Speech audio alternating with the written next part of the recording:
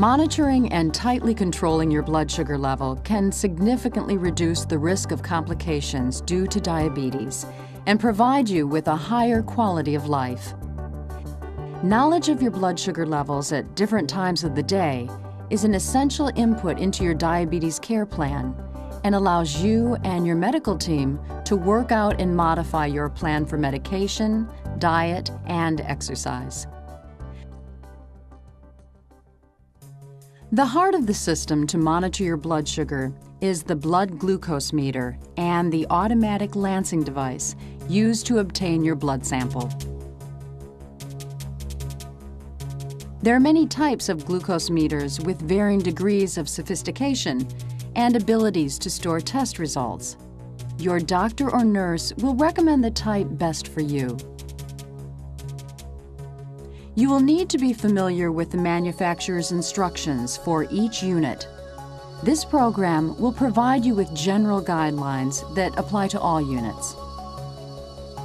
The equipment you will need to assemble includes the glucose testing meter, a packet of test strips, an automatic lancing device, and facial tissue.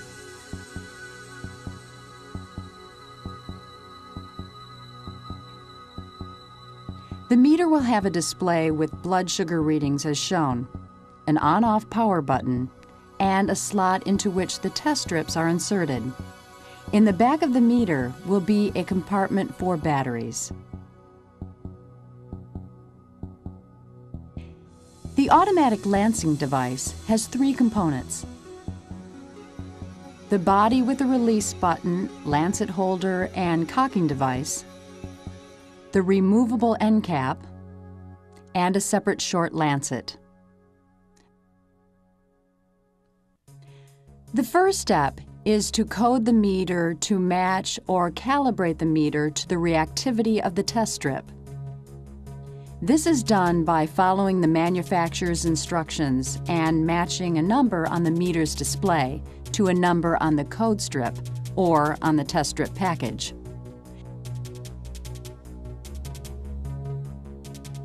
Coding is done whenever a new package of test strips is open and daily to ensure the meter is coded correctly. In addition, a control test can be run if you need to check that the whole system of the meter and the test strip is working correctly and to practice your good meter techniques. Follow the manufacturer's instructions, which usually involves testing a control solution of sugar that is provided with the meter. Wash your hands vigorously with soap and warm water. Rinse and dry thoroughly with a paper towel. Remove the test strip from its individual package. With the meter off, insert the correct end of the test strip into the test slot of the meter, according to the manufacturer's instructions. This usually turns the meter on. Remove the end cap from the lancing device. Insert a short lancet into the lancet holder, according to the manufacturer's instructions. Twist off the protective cap and save it for the disposal of the used lancet. Replace the end cap. The depth of the puncture depends on the end cap used. Recock the lancing device.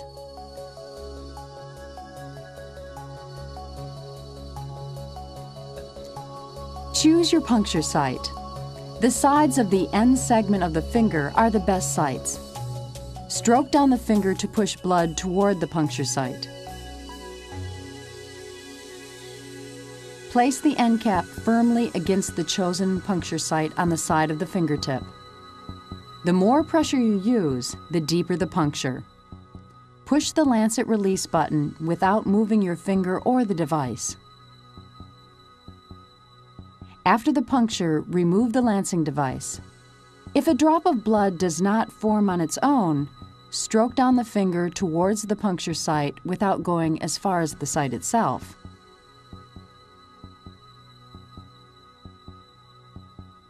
Hold the tip of the test strip in the drop of blood until the meter tells you the test strip is filled, usually by beeping. Remove the test strip from the blood. Put the device and the strip aside until the reading is complete.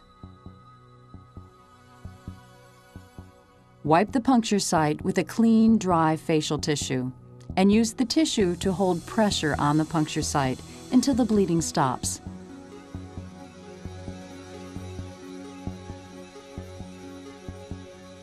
Remove the end cap from the lancing device and remove the used lancet.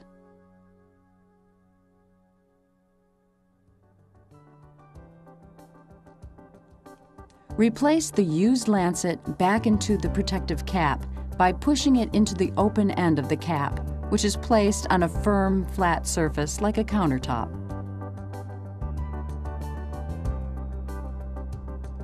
Once the blood sugar reading on the meter is complete, use the tissue to grasp the test strip and pull it out of the meter. This usually turns the meter off. Discard the lancet in its protective cover and the used strip into a glass or puncture-proof container with a screw top, or a Sharps container purchased from your local pharmacy. Replace the cap on the container. When the container is full, cap it and discard it into the trash. Clean the lancing device weekly, according to the manufacturer's instructions. Only use a lancet once. Do not use the same end cap on another person. Teach another person to use the whole system so that you have a backup when you need assistance.